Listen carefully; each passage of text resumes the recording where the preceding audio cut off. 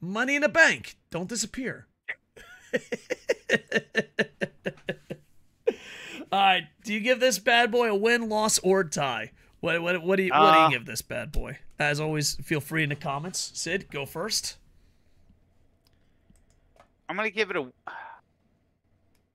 I'm gonna give it a really weak win. Okay. For Um. me, the the the main event, Bloodline Civil War match, is really the only big moment to me on the show. The rest of the show was just it was okay. Uh, I did like the way that both Money in the Bank matches played out, but those are always decent matches. Yeah. Money in the Bank, especially the ladder matches, are probably one of my favorite gimmicks. I put Money in the Bank up there with the Royal Rumble as pretty solid pay per views usually. I mean, you really have to go out of your way to for Money in the Bank. Um, I'm giving it a win. Um, it wasn't the best, it wasn't the worst, but the atmosphere made it amazing. And uh, I'll probably say this a few times during the podcast, but I want to bring this point home. Um, it doesn't matter if you're WWE, AEW, Impact, New Japan, or New Japan Strong.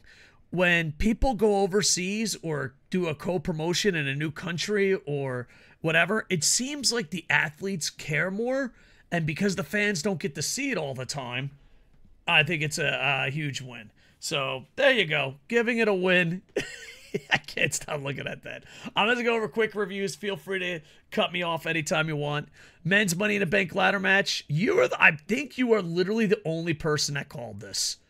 Uh, Damian Really? Priest I thought it was super obvious. See, I think so many people were in love with LA Knight. So many people were in love with LA Knight. Obviously, my dumbass like Nakamura and Ricochet has a chance. New Japan, Uh, but Yeah, Um, never. because like I, I feel like I I as a dumbass picked Ricochet and Nakamura, but you know they weren't gonna happen. LA Knight seems to be the most popular pick, and I thought maybe they would throw in Logan Paul just to be you know shithead celebrity. Look at him. I am pretty sure, and you know me, I hang out on the internets a lot. You were the only person that picked Damian Priest that I know of. Of course, now that we say that, 800 people will be like, I said Damian Priest. I said I Damian said it. Priest. I believed it all along. No, he's been on a superstar rise, and ever since those pictures circled of the before and after of him, like a few years ago when he was overweight, uh, he had badly applied makeup, his ring gear didn't look that great working on the indies. Right side by side with him at WWE, I think it was at the lead-in to Backlash somewhere around that time. When that when that got circulated, and then the next pay-per-view was going to be Puerto Rico, there was no doubt in my mind at that point WWE is gonna push this dude to the fucking moon. Yeah, because um, WWE, especially uh, Vince and Triple H, and most of them are really into, you know, working out. What's the word I'm looking for? Um, shit, I had a word for it. Growth? ba- fitness. Fitness is the word I was looking for. Yeah, yeah, yeah. They're really into fitness, and people that are really into fitness love people that turn their lives around. You're like, oh, he was a fat podcaster, and now look at him.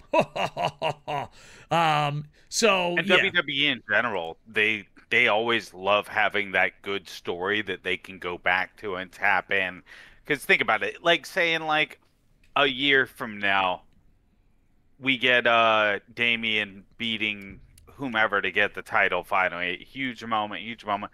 They're going to immediately put out a documentary where it's going back about how he was overweight, all this, struggling on the indies, blah blah blah. You know they'll do it. That's why they eat it up. it, it's a it's a Anyone they can do big stories on. it's a good story because like everyone has been not almost everyone i mean there's some athletes who are great genes but most people have hit being out of shape the average person knows what it's like to be out of shape so it's just such an easy story to connect to it's such an easy story to connect to um, then you have the wwe women's tag team championship uh, liv and rodriguez win they defeat ronda rousey and shayna baszler uh, Shayna Baszler turns on Ra- uh, Ronda Rousey. We'll be talking about that in the future. New champions, nine minutes. As a guy that only watches highlights in the pay per view and didn't pay attention to the internet stories, I was like, what the hell? It did kind of make it did make him kind of look stupid. It kind of made him look stupid. It's like this is when I'm gonna snap. Um, but Yeah. It was a real weird timing for her to have snapped. Like, why snap in the middle of the match? Toss away your own championship opportunity. Like, you're throwing away because kayfabe outside of kayfabe, no matter how you look at it, getting another championship belt onto your list of accolades, there's no character that's not for or in in favor of that. It doesn't make sense to turn on them and cost their chance to win the belts in the middle of the match. yeah, and I, and I, Stupid. and kayfabe wise, it's pretty dumb too because a it makes the next champs look weak, but also like if me and you, let's say me and you were gonna win the Super Bowl, and I was like, oh god damn it, I'm pissed off at him. I'm sorry, I'm not gonna throw three interceptions and lose a Super Bowl to fucking be like, yeah, take that, raccoon. I don't know, it just it's seems silly. it- It makes no sense to me from a character perspective at all. Yeah. Uh, International Championship, Gunther defeats Matt Riddle, but also have a huge return. Um, overall, I, I I was shocked. Uh, I I have a some younger viewers in the Twitch thing, and they're not feeling Gunther. I'm feeling Gunther, and Mr. European's back. So, what did you think of this match? my buddy Heinous, who I, I finally got him more into, like he'll at least watch modern wrestling now, and he's keeping up with it uh, with WWE's, and I can kind of get him to watch AEW, but he doesn't like it. It, but he's interesting as a barometer for those, like for me at least, for those old fans that have come back a little bit, because he 100% his attitude era was all he liked in wrestling. Oh, there's so the many fans that were like that, though. Yeah, but it's, he's a great barometer for me personally to be able to gauge and see how he reacts to different things. Dude, Yeah. he is into it. Like super into it, and I don't get it. I don't get it. I'm with you. I mean, no, no, I'm not with you. I don't get why anyone's that into Gunther. I like the strong style matches, but and I like the the ring general personality because of his announcer sidekick. But that's it. And like, meanwhile, him, he's fucking head over heels in love with Gunther, wants him to beat Roman, loves Gunther. And I'm sitting here like, he's okay. His matches are entertaining. They aren't bad, but he's just another angry foreign character again. Yeah. It's like Rusev again. Um, I, I could be wrong on this. This is kind of like I'm just throwing it out there. You know, sometimes you throw out ideas even though you're not 100% sure if it's right or not. Um, I, this is my my my theory, okay? My hypothesis, if you will. if you will. I think the the the fans that watch the international, the indies, and more than WWE love Walter so much that when he came to WWE, lost the weight, and became a strong style wrestler, we still remember the greatness that's Walter. And I feel like that audience spread out to the casual audience. And now everyone likes him, even though he's uh, a bit different. That's my kind of theory on it. I could be wrong. I actually like him, but also it's kind of like you see AJ Styles start from the indies. You see, well, you know, you kind of have a connection. But I, I like it a lot, and I like strong style. So that might be two factors going into it. Don't get me wrong. His triple threat at WrestleMania was one of the greatest matches WWE's ever had. Uh, in my opinion, it was a phenomenal strong style match. Um, well, one of the greatest strong style matches they've ever had with him, Drew, and uh, Sheamus. So I'm uh, the match against Drew should be gold when that happens. Yeah, it sh- it should be good. Drew does make a comeback. Uh, according to Triple H, don't believe the internet. And you know what? It's kind of hard because I, I you know I, I know like a lot of people shit on internet reporters and all that. But A, anyone that's worked in mainstream media, they get it wrong all the time. They just have a shinier presentation. And B, you're covering something where people lie for a living. Like, so it's like kind of difficult. So, but yeah, Triple H had a couple cheap shots. Um, next, you got Cody Rhodes defeats Dominic Mysterio. Crossroads 840. Fans going crazy singing it. I believe it was Cody's birthday that day. Happy birthday, Cody. Uh, Happy birthday, Cody. Dominic Mysterio uh, being a great heel, Cody Rhodes being a great face. This works. Short match gets the job done, and I'm happy. Your thoughts on the match? I'm not. Okay, Listen, hear me out. I'm hearing The you. better story would have been if he goes out to have that match and gets jumped and gets the absolute shit kicked out of him before the bell rings to start the match. I mean, completely obliterated.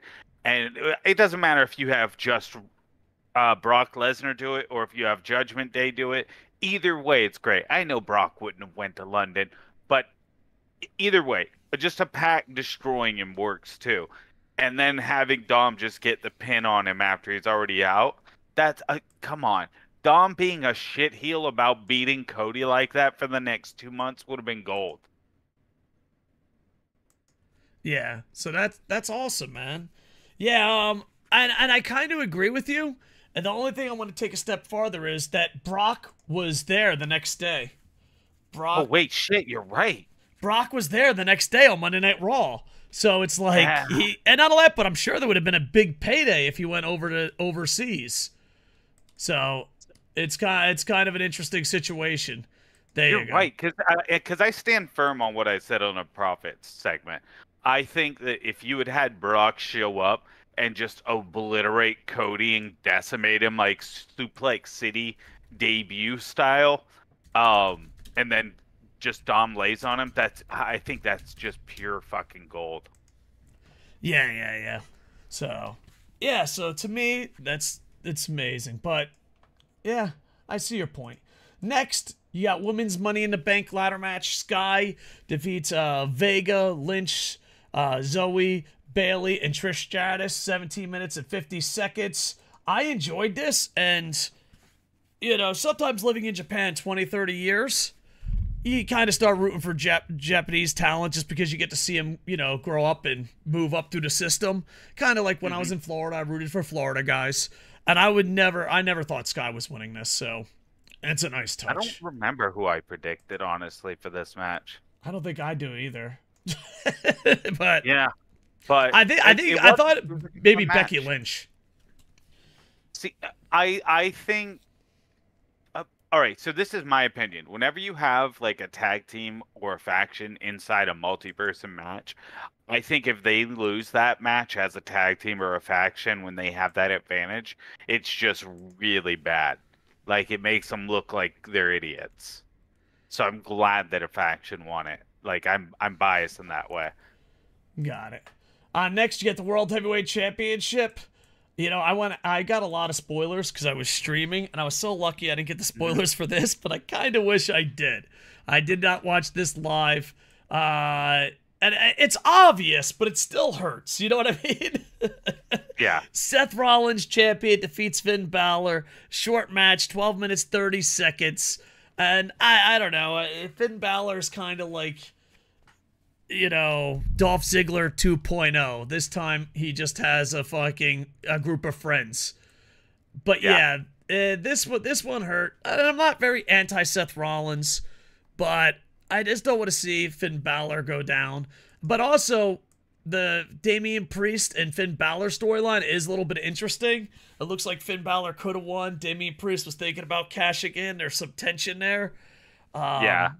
But it would also, you know, maybe if Finn Balor won, you could still have tension. But maybe I'm just asking, as as Golden Star Alex likes to say, you're asking for too much. You're asking for too much. So uh, here's my thing. Uh, I'll first say, I I love Finn Balor as a wrestler. I think Fergal Devitt was amazing. I thought he was he is arguably the best or second best leader of Bullet Club. He, I believe he was the first leader. Um, he has some of the best entrances of all time, both in WWE and in New Japan. Like I love the zombie entrance, and he was in Apollo 55, so I'm biased. Taguchi. But if he got kicked out of the Judgment Day, I don't feel like Judgment Day really loses anything right now. No, no. I actually think probably Finn Balor has a better shot at being kicked out right now because at least Yeah. he'll have a storyline where he's the enemy. I mean, Because I just go ahead. him getting kicked out and going face could actually be really cool. Yeah, that wouldn't be bad. Uh, not that, but I just want to add something here. It's- The video package for this match was off the chart. They did a lot of effort there, and it, it was the the store like the. I, I'm a big catch of lines and you know dialogue or whatever. I, I just think sometimes there's like a line or two that just motivates you. But he's like, one of us got better and the other one got bitter. And then it shows, um, you know, then it shows Finn, and he goes, "All I got left." I'm paraphrasing. All I got left is bitterness. I thought that was so good writing. Whoever wrote that, give yourself a Barry Horowitz. That intro was off the charts. So there I you agree. go. That was a great package. I wish every wrestling promotion would put high quality packages like that before all their matches at pay per views, because it instantly makes it easier to get casual friends involved. Oh, 100%. And not that because I consider myself a casual. Like, there's so many times I'll go watch and that be like, hell yeah, I'm pumped up. You're caught up. And WWE really does care about casual fans, so it is the best way to get them caught up and caring about your storyline. Um, Bloodline Civil War Tag Team Match. The Usos defeat Roman Reigns and Solo via Uso Splash by Jay on Roman Reigns. 32 minutes long. Uh, the Usos do get the pin. Um, I I thought this was an NWO Bobby the Brain Heenan thing, where they gave out too much information prior. They're like Roman Reigns hasn't been pinned in three years. I was like, they just kept saying that too much. Why'd you bring that fact up so much, guys? Yeah, yeah, yeah. They brought that fact up a lot. So it's it's gonna be interesting. I think this is one of the better sports entertainment storylines in a while. Um, and I've been enjoying it and it's been a fun ride. Uh, overall, I, I I thought it was good. I just thought the match was a bit tad long, but not too much. You know, just okay. I get it. But yeah, overall, um, Roman Reigns getting pinned would have been great.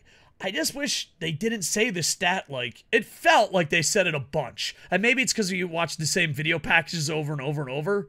But I thought they were going, he hasn't been pinned in three years. Way too much. It, it would have been great. And, and we're nitpicking a great moment here. But it would have been great if they didn't mention that. One, two, three. And then you said it. You're like, he hasn't been pinned in three years. You know, that would have Yeah. been a, a lot better and exciting. But like we're saying, we're nitpicking. Overall, uh, give it a win. I know a lot of people don't like WWE because, you know, they're so loyal to brands or hating brands. But I really think under the Triple H era, the pay per views are enjoyable to watch. The Raws and the SmackDowns go up and down, but I feel like the pay per views are pretty good. And unless you watch, the more you enjoy it. I know they always wanted casual fans. Here we are. You were about to Honestly, say something? I'd say since Triple H has taken over, it has been AEW has more good wrestling on a day by day basis at their regular shows, but WWE has far more interesting regular shows as far as storylines go and storytelling. So keep it up, Triple H, and distract Vince. just, just distract him as much as possible.